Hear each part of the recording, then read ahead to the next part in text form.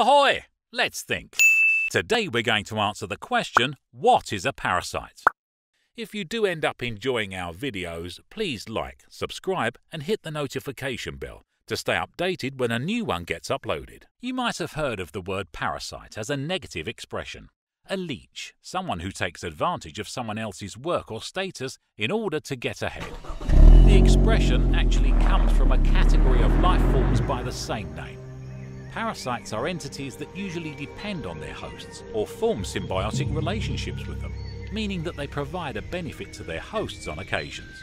However, parasites are also known for damaging their hosts, such as in the case of viruses, mosquitoes, hookworms and lice. Yuck! Many living creatures have evolved to live as parasites, so much so that most biological categories have examples of parasites, from microbes to animals, even plants.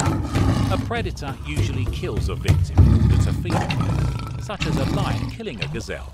However, parasites seldom kill their victims, often using them as hosts and resources for long periods.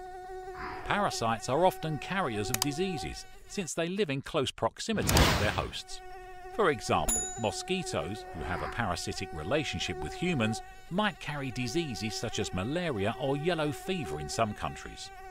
Parasites have various ways to attack their hosts, whether it's by feeding on some of the host's food supply, such as in the case of intestinal parasites, like a tapeworm. That's not very nice.